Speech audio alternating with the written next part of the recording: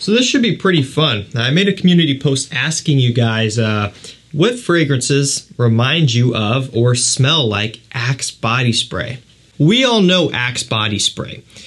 Just to kind of put this into perspective here, you know, Axe body spray to the fragrance community is kind of like Invicta watches to the watch community or MVMT watches or something like that.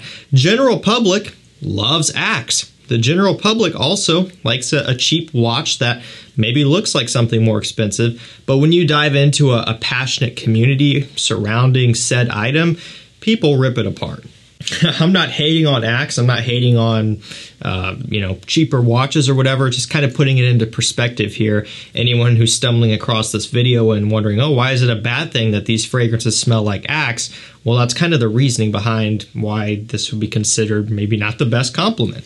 I thought it was fun nonetheless, though, because I've actually seen that thrown around a time or two when talking about some of these fragrances. Um, you know, outside of doing this video, people have said, oh, that kind of reminds me of this particular axe or this one. So I thought it'd be kind of funny and, and interesting to compile these all into a video here.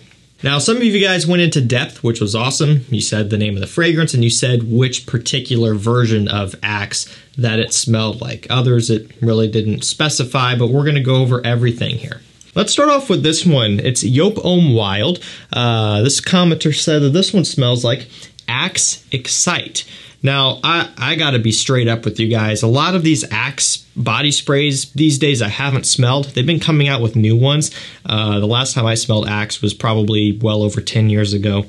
So, uh, yeah, I, I, can't confirm or deny any of these here for the most part, which is kind of more for entertainment, but what I can tell you is I really like Joop Homme Wild. I think it's a great fragrance, especially for the price when you can get it in stock.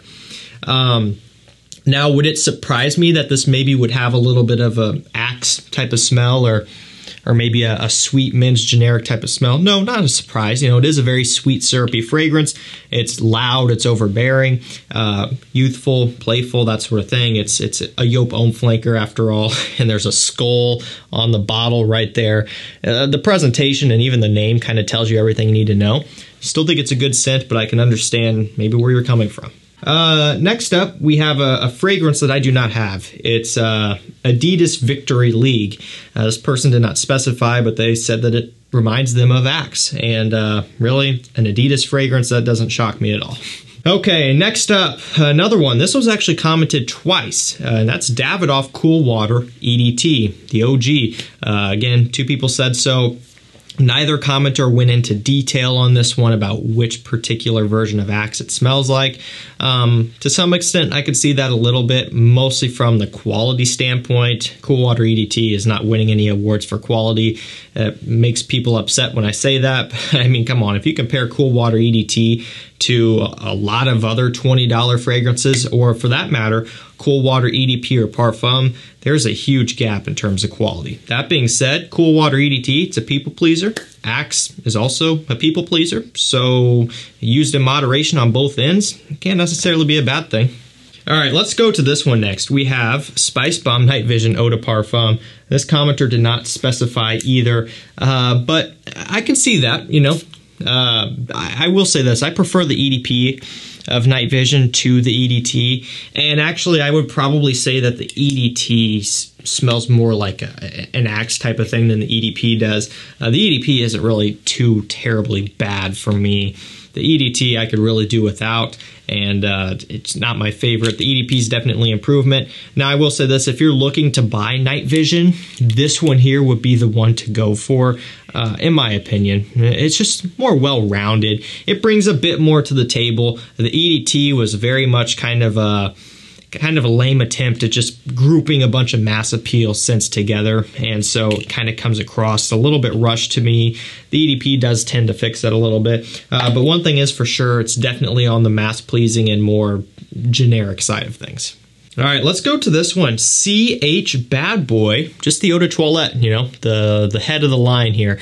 Uh, this person said that it smells like Axe Dark Temptation. So again, you know, I am not familiar with that particular version of Axe, but I will say this.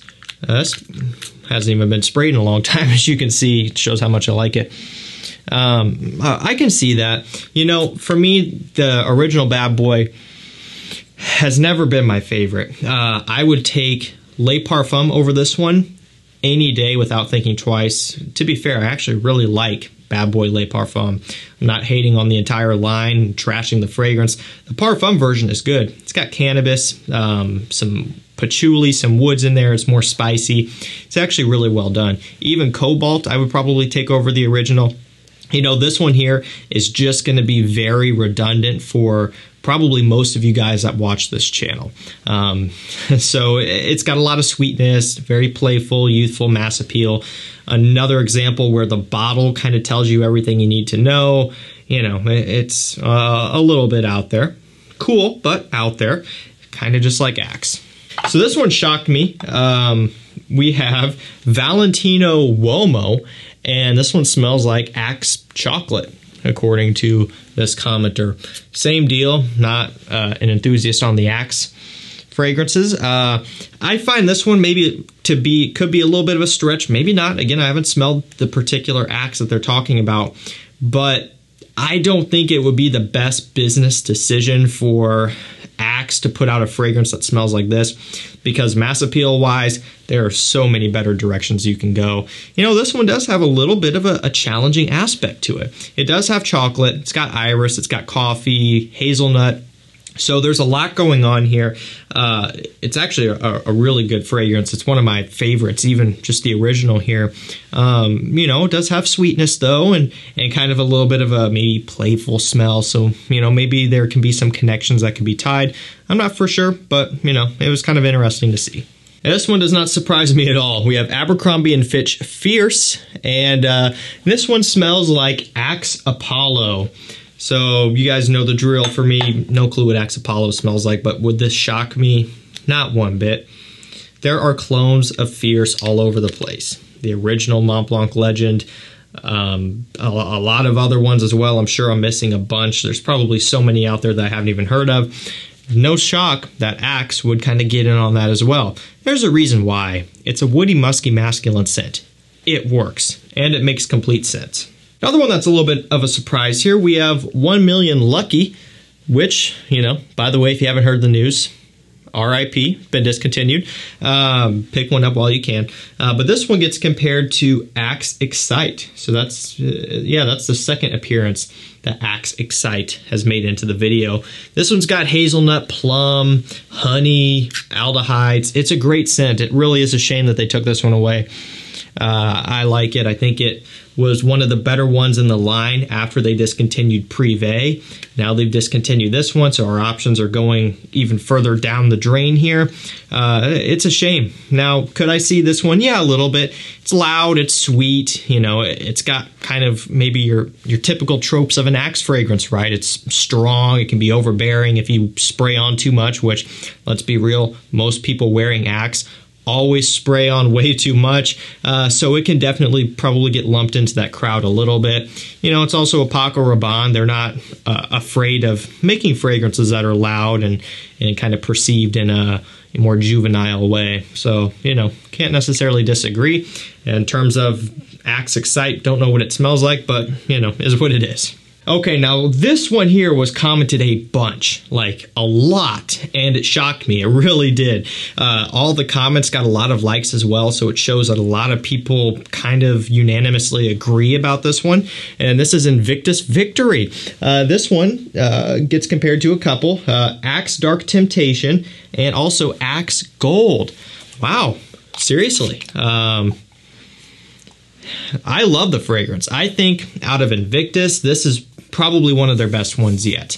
Um, you know, Invictus Aqua 2016 will always hold number one, even though, of course, it's discontinued. Um, this would fall into my number two, though. But out of in production Invictus, this would be my number one. Seriously, I love it. It's got amber, tonka beans, sweetness, vanilla, all of that stuff, right?